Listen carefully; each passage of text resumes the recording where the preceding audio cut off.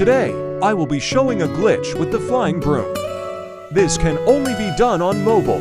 As you can see me character is walking without the camera. Following him. Open your locker. Equip the flying broom. Use it and get on it.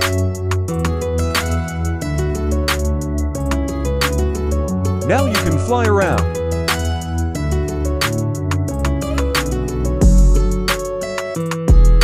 As you can see, I try to fly up while holding the broom.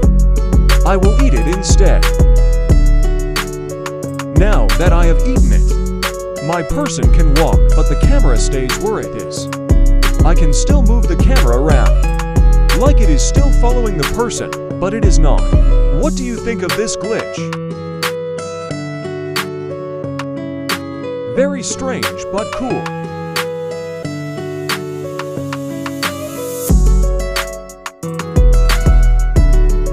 And with that guys, peace out.